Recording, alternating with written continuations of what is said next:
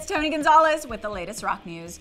Ladies and gentlemen, we have a shocker for you today. President Barack Obama is not the lead singer of Korn.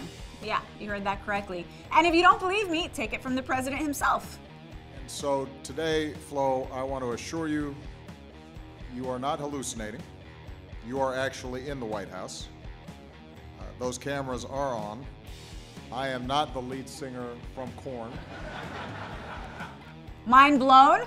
Well, there's actually a great story behind that. Yesterday, the president was handing out a Medal of Honor to Army Captain Florent Groberg, who saved numerous lives when he tackled a suicide bomber.